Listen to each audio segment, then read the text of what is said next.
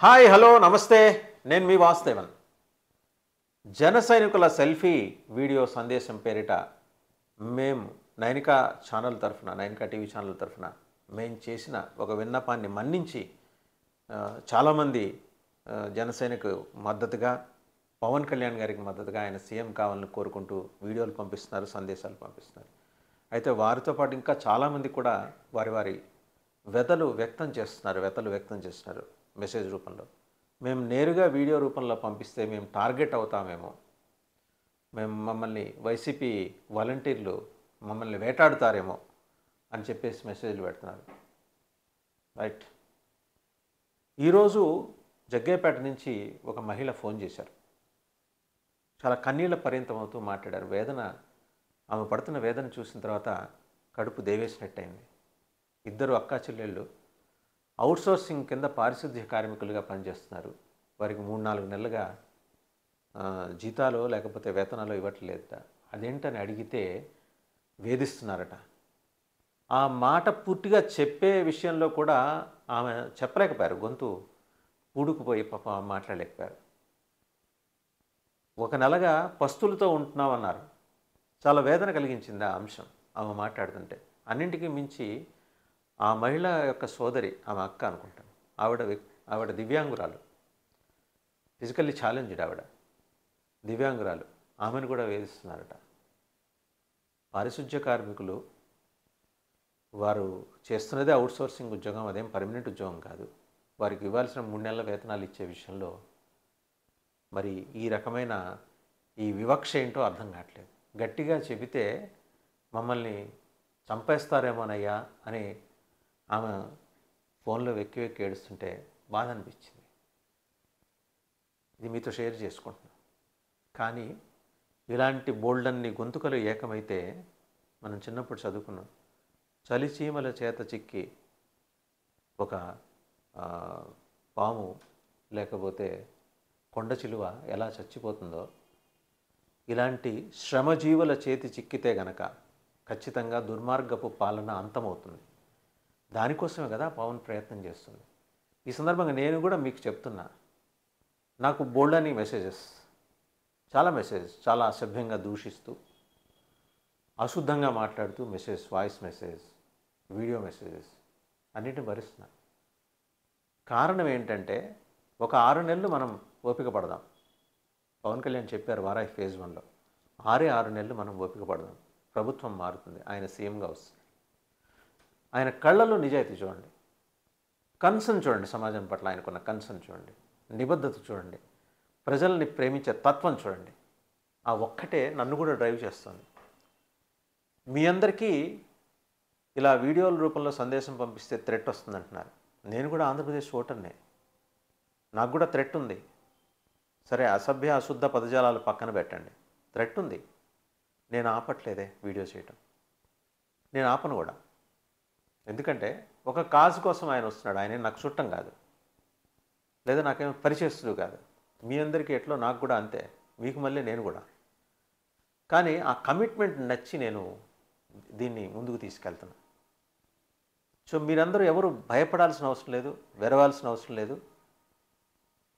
ఖచ్చితంగా ఒక హామీ అయితే పవన్ కళ్యాణ్ గారు మీకు అందజేస్తారు. భరోసా ఇస్తారు. హామీ కాదు.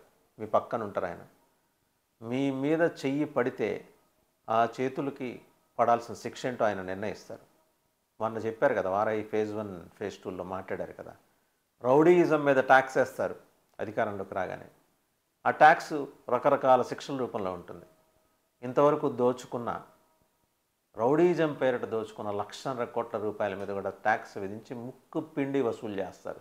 ఎవరెవరి మీదైతే దౌర్జన్యాలు చేయించారో దుర్మార్గాలు చేయించారో దారుణాలు చేయించారో అకృత్యాలు చేయించారో వాళ్ళందరినీ వాళ్ళని విక్టిమైజ్ చేసిన వాళ్ళందరినీ ఖచ్చితంగా శిక్షించి తీరుతాడు.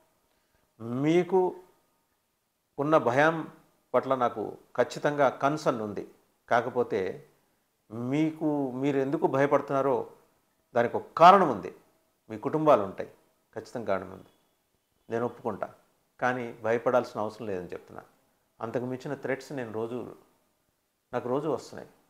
నిర్భయంగా తిరుగుతున్నాను. నాకు ధైర్యం ఉంది. వెనకాల ఆయన ఉన్నాడని. ఆయనకు ధైర్యం ఉంది. ఆయన వెనకాల ఒక దేవుడు ఉన్నాడని ధర్మం ఉందని న్యాయం ఉందని.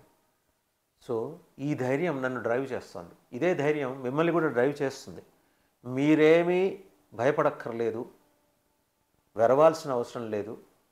వేదన చెందాల్సిన అవసరం లేదు.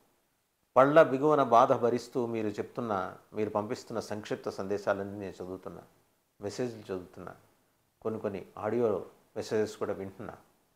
ఐ డూ అగ్రీ మీ పట్ల మీ మీ పట్ల ఏదైనా ఒక అరాచకం జరుగుతుందేమోనన్న మీ ఆందోళన పట్ల మీకు పూర్తిగా నేను వందకు వంద శాతం ఏకీభవిస్తాను కానీ మనం we should not give up the battle in between యుద్ధాన్ని మధ్యలో వదిలేసి వెళ్ళకూడదు.